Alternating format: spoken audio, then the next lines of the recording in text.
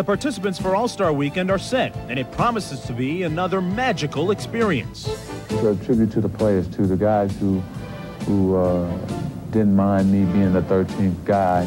13 is a lucky number for the Bulls, who find themselves chasing history. We're not getting complacent with our success.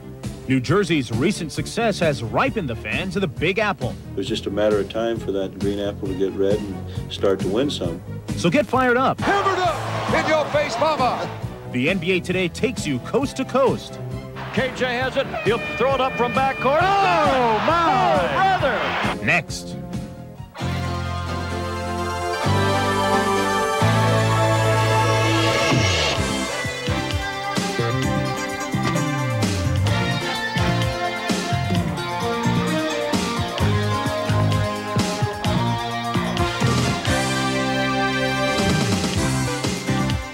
Hello, everyone, and welcome to another edition of the NBA Today. I'm Mark Jones.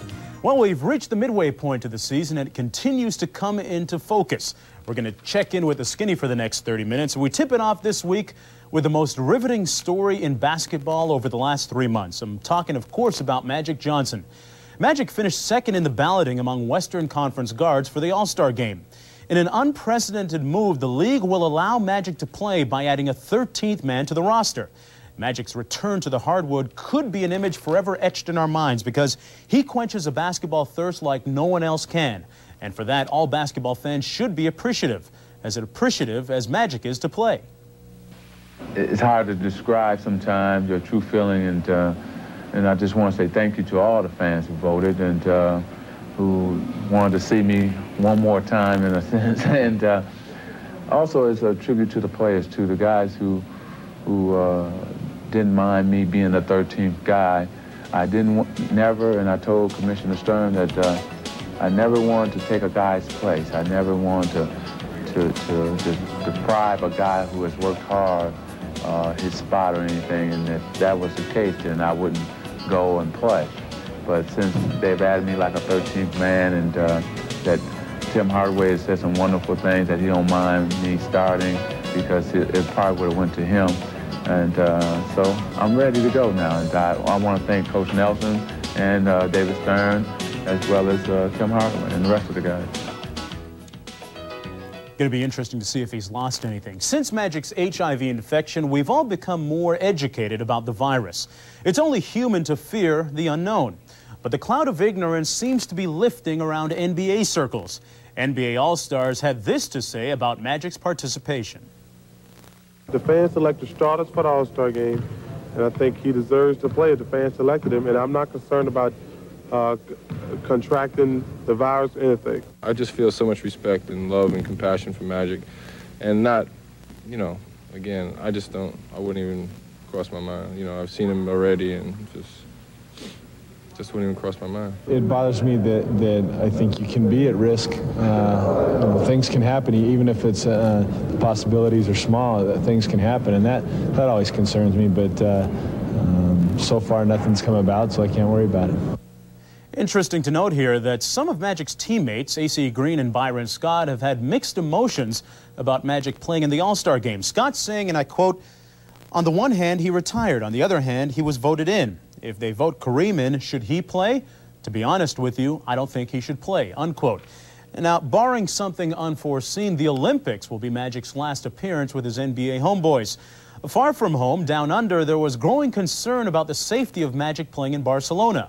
One Australian medical director even called for a basketball boycott, and officials expressed their sentiments regarding Magic, sentiments that left a very sour taste. It hasn't been documented that any anybody has contracted this through playing, and uh, uh, and that was wrong for him to do that and say that. But on the other hand, I knew things like this would be coming. We need a lot of advice that uh, about how safe it is. I mean, we're told it's, it's pretty safe, but uh, it is a contact sport, and there is uh, blood on the floor, so to speak. We certainly would not be recommending a boycott. What we would say, if I guess, is if a player had real concerns and was and was very uh, disturbed about the potential, if he perceived it as such, of obtaining infection, well, that uh, I guess uh, he'd be permitted to withdraw from that match. I'm gonna just go on, keep smiling, keep working, and uh, wait till that moment. I'm gonna still play, and uh, I'm looking forward to it. Now, just in case you were wondering, there are 12 other guys on the Western Conference All-Star team. The voting, as always, had its fair share of surprises. At the guard spot, it's Drexler and Magic starting. Tim Hardaway would have started, but says it's fine that Magic plays. In the pivot, David Robinson made a late surge in the balloting to edge Dikembe Mutombo by 7,000 votes. At forward, it's Malone and Mullin getting the call. Backing up the big five will be for Don Nelson, guard Tim Hardaway, his second All-Star game, Hornacek, his first All-Star appearance, John Stockton, the league's assist leader. Olajuwon, his seventh All-Star game, Mutombo, the top rookie, scored 18 and a half points a game. Majerle, Otis Thorpe, both making their first appearance in this great pickup game. In the Eastern Conference, Michael Jordan racked up over 1 million votes. Jordan will start with Isiah Thomas in the backcourt, Ewing in the middle, surrounded by Barkley and Bird at the forward spots. Coming off the bench for Phil Jackson, Reggie Lewis, first time in the All-Star game for him. Joe Dumars rallying after a slow start to the season. Mark Price of the Cavs back from knee surgery last year. That's nice to see. Brad Daugherty having his best season ever. Dominique Wilkins playing in the All-Star game for the seventh time. Dennis Rodman, the league's leading rebounder and one of the best defenders in the league, also playing. And Scottie Pippen of the Bulls filling out the bench. You know, every year there's a few deserving players that could make a very good argument for not making the team, actually for making the team. Here's how we summed up our We Was Robbed list for 1992. In the West, Mitch Richmond with 22.9 points a game, Ricky Pierce and Kevin Johnson, all with a good argument for making the Western Conference team. Over in the East, Reggie Miller at 21.6 points a game, Pervis Ellison 20 points and 12 rebounds a night. Michael Adams with an outstanding year in Washington. Got to question that one. And Robert Parish, who had made the All-Star team nine of the last 10 years. Well, it's official. As our NBA Today crystal ball predicted last week, George Karl is the new head coach of the Seattle Supersonics. Karl taking over on Thursday night against Portland, the Sonics losing that game 113 to 109. Now, Karl says that he knows that he's under the gun to produce quick results. Well, his second game behind the bench was Saturday night against Utah. Seattle led the game by one, 15 seconds to play, and they throw it away. Look at this. 14 seconds left. Jeff Malone steals. Jeff Malone steals. Jeff Malone scores the layup. Nine seconds left. Payton, five seconds to the base left. Stockton falls down. Payton puts it up and misses. Tipped up, no good. Rebound, Jeff Malone. The Jazz win the game. It's over. The Jazz have won it. How about that one? Tough way to lose. Three weeks ago, we showed you the comeback attempt of Philadelphia's Jeff Ruland. Ruland rebounding from a five-year absence in the NBA because of a knee injury. His knee rebuilt now through a new surgical technique using scar tissue as cartilage. Well, Ruland was contributing by setting monster picks and averaging five points a game, but Friday against Minnesota, his comeback attempt was put on hold for four weeks. Ruland limped off the court after playing just three minutes in the first half. He suffered a partial tear of his right Achilles tendon. He'll be out for three to four weeks. It's the same Achilles tendon that was hit by a luggage cart at the airport in Boston. We're going to take a short trip around the league in just a minute. The Chicago Bulls are on a winning binge right now, and after this break, we'll check in with Michael and company flying high as we reach the midway point of the NBA season, and they reach it on another tear. Stick around. The NBA Today is brought to you by IBM, celebrating the 10th anniversary of the computer that changed the world, the IBM PC. And by Edge Shaving Gel. For less irritation, you've got the edge.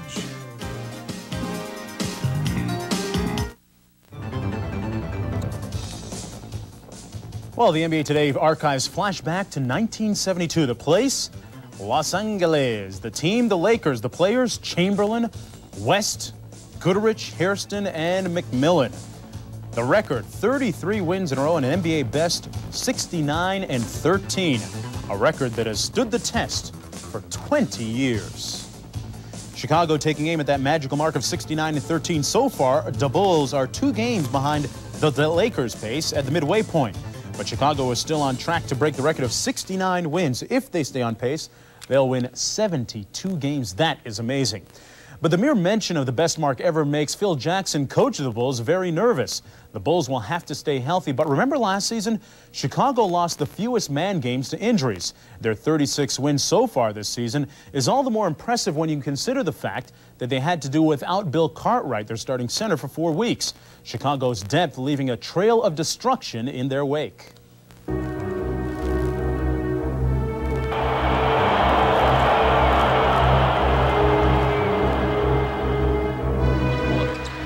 Chambers out to Majerle and a steal by Jordan.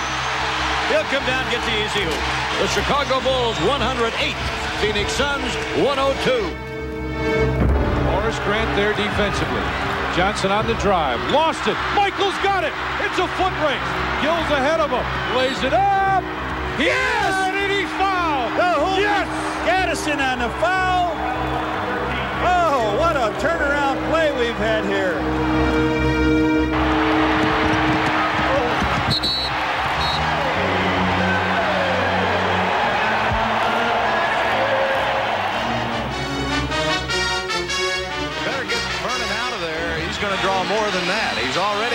Technicals. Three seconds on the shot clock. Jordan has to put it up. And he hit it off the backboard. We're not getting complacent with our success. I think we, we're still hungry. We step into every arena. We know what we're faced with. We know the crowd may not be in our favor, but we bond together as a unit and we fight. We fight ourselves to a win. If not a win, we fight ourselves for an opportunity to win. Now, if the Bulls are to make a serious run at the record, they will have to get through a tough stretch of road games leading up to the All-Star break. San Antonio, Houston, Utah, Phoenix, and the Lakers on the road. That's a combined home winning percentage of just under 700. The Lakers beat the Bulls, if you remember, earlier this season in Chicago. Well, Rod Thorn, the NBA's fine collector, is filling his pockets once more. On Tuesday, Washington's A.J. English was slapped with a $3,000 fine for elbowing Jeff Hornacek. And earlier in the week, in two separate incidents, players broke the law of the court, the one that says no bumping the referees, please. Vernon Maxwell was docked 7,500 bucks and suspended one game without pay for doing the bump with official Jack Nies and throwing a piece of tape at the ref. Mad Max will miss Tuesday's game against Minnesota. Elsewhere, Nets assistant coach Tom Newell was fined 2000 and suspended one game without pay for doing the same dance with referee Steve Javie. Well, the rough stuff might be a product of some of the trash talking that goes on during the game. Unlike football, the NBA doesn't have a rule against baiting players, but sometimes they cross that fine line between saying in your face and uh, saying something else. This week, one of the best trash talkers in the game was front and center again. Chuck Person. Who else? They played some basketball Wednesday in Cleveland. Mark tried to make Chuck Person pay the price as tempers erupted. The Cavs won the game, but after the game, George McCloud followed up a fourth quarter scuffle with John Battle by punching Battle in the face on the way to the locker room. Battle grabbed a 2 by 4 to retaliate, but the scuffle was broken up.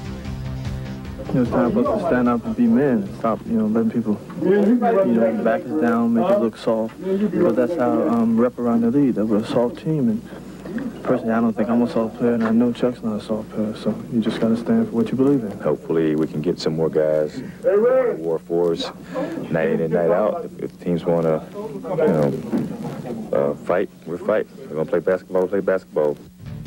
Friday's rematch saw only loose lips and not clenched fists like this encounter between Detlef Schrempf and Larry Nance. Battle was back in action, but McCloud missed the game after receiving a $10,000 fine and a one-game suspension. The Cavaliers again had all the right angles, winning the war by taking the battle on the court again. The Wolves are getting passed along like a second-hand suit. Opponents have rejected Minnesota eight straight times, and their defense is nowhere to be found.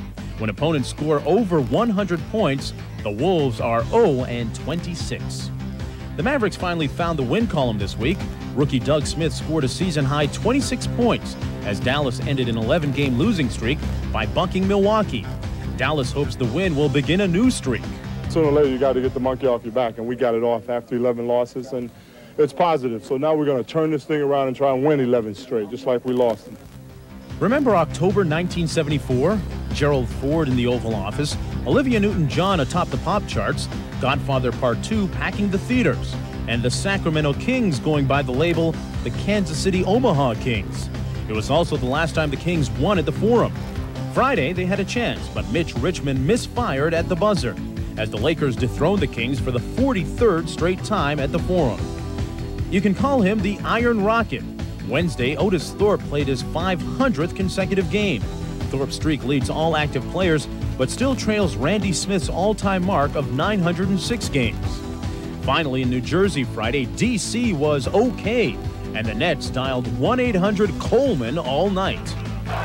Blaylock off to Coleman. Down the lane for the lefty jumper. Good. Coleman back to the hoop. Fakes. Now fires the jumper and hits. Coleman baseline left. Hits again. Oh my goodness. He has hit all 11 of his shots. Coleman finished with 38 points as the Nets won their fifth straight game, their longest winning streak since 1985. 1 800 Coleman, nice number for the Nets. Still ahead on the NBA today, our Edge Player of the Week and Showtime. But coming up next, the New Jersey Nets are emerging from that quagmire of mediocrity. We'll show you how and why, so stick around. Remember six weeks ago? Depending on which of the New Jersey Nets owners you listen to, Bill Fitch was either in or out as head coach of the Nets. Jim Valvano was reported to be on his way to Brendan Byrne Arena to take over, but uh, something strange happened along the way. The Nets discovered a formula for winning with the same coach and the same cast of players. No one's laughing at the Nets anymore. They're just scratching their heads trying to figure out how they've become the biggest surprise of the NBA season. The Nets are jamming. The leading pass to Bowie in the jam. The Nets are jamming. Westwood Morris and the lefty jam. Somehow, everything has fallen together so unexpectedly. Just two months ago, everyone was unhappy. The owners, or at least one of the seven, didn't like the coach. The coach didn't like his job, the players didn't like anyone, and the fans didn't care. But right around the time that the situation seemed totally helpless, this team started winning games, almost by chance. Will the person responsible for this offer report to my office?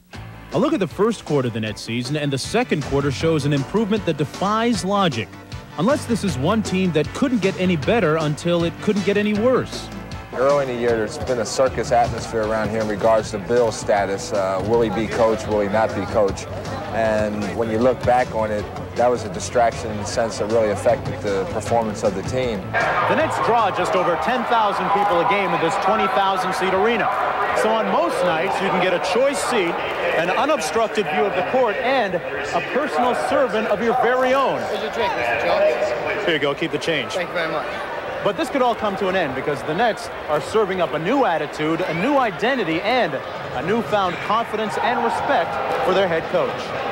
The biggest thing, he didn't stop coaching us. You know, he came through and he said, I'm here today, you know, I'm worrying about today. And came the next day, I'm here today, I'm worrying about today. And I think uh, we take the same philosophy from what he has given us and the fact that, you know, we're going day by day. Bill Fitch has fought ownership, fought the players, and fought, but only somewhat, to keep his job. Truth is, if the Nets owners knew how to fire a coach, Fitch would be gone by now. But he's still here, and the players have responded positively to a chaotic situation. We as players just have gotten tired of losing, and we've rallied together. It wasn't a case of whether I could coach or not. I just wasn't getting along with, with one owner in particular, and and uh, uh, he decided that he could find a coach that he could get along with, I guess. If it wasn't Fitch's survival instincts, it might have been his handling of high-priced rookie Kenny Anderson that won him some respect from veteran players. Fitch didn't want to draft him, and Anderson held out. Now he's sitting while the veterans play. The respect I have for him is he said what he felt. He didn't pull any punches. He might have uh, stepped on some people's toes at the time he was speaking his piece, but uh, he had to do what he had to do. I guess in the league, you don't have to love a coach to go out there and give it all your, you know, all you got. There's a lot of diets I tell these guys. I feel like a, a Hindu snake charmer with a deaf cobra. But this snake finally found a hearing aid. You could be jamming And they're hearing very well right now. Time to call a timeout. There's still a ton of fun to come, including Showtime, so hang in there. We'll also hear more from Kenny Anderson of the New Jersey Nets on his rookie season. As we go to break, let's see who's hot.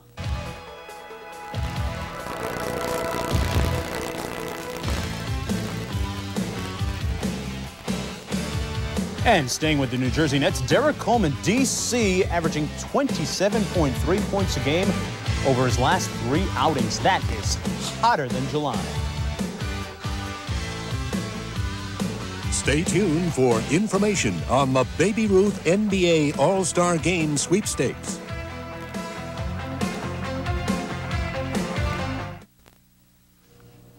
Well, this week on our Rookie Watch, we check in with Kenny Anderson of the Nets. A number two first rounder usually means that you're getting an impact player, but so far that's been anything but true in Anderson's case. Anderson isn't getting a lot of minutes, and you can kind of tell that he's not too excited about it. People close to the Nets, though, still tell me that he's going to be a great player, including Willis Reed. I spoke with Anderson, and to his credit, he still has his confidence. Everybody's doing their own part, and I think the little time that I get, I have to go out there and put that effort and just like the other guys are doing. And I think it's really, you know, paying off on, on, that end and, you know, staying up. If I'm not playing that much, stay up, give other players confidence and encouragement out there when they're on the floor.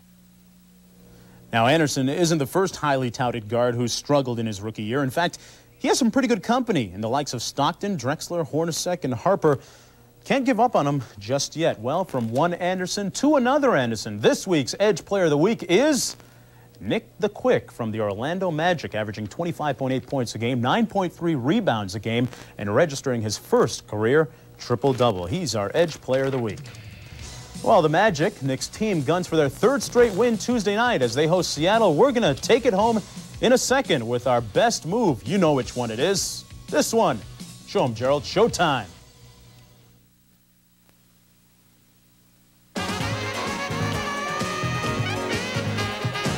The NBA Today is brought to you by IBM, celebrating the 10th anniversary of the computer that changed the world, the IBM PC, and by Baby Ruth Candy Bars. Enter the Baby Ruth NBA All Star Sweepstakes. And now from the files of the unexplained, this one ranks right up there with other unsolved mysteries like the Bermuda Triangle, the pyramids, and Chris Dudley making a foul shot last week. This one is every bit as difficult to comprehend, too. Tuesday in Chicago, the Suns in town to battle the Bulls. Kevin Johnson with the rebound and fires it up. Yes, you got it. Unbelievable. But you know what? That's not the best part of it because 30 minutes later, at a high school game in Michigan, just a few hundred miles away, guess what? A rebound, an 80 foot shot by a guy named Kevin Johnson. Yes, you got it. Unbelievable. Well, you can't beat that with a bat, and you can't beat Showtime either. So let's get with the program. For me and the rest of the NBA Today posse, we'll see you next week. Long outlet midcourt to Clyde.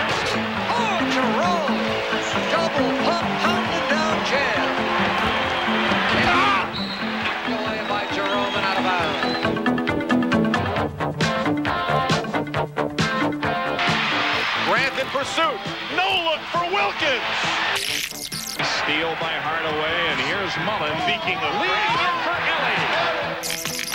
But Harper has, has done it many times tonight. Dark for Mason. Well, those are the super skills and moves of Ron Harper. Is guarded by Augmon. Elie off the drive and the dump inside to Hardaway. Jackson with a gorgeous feed to Starks. Look shot.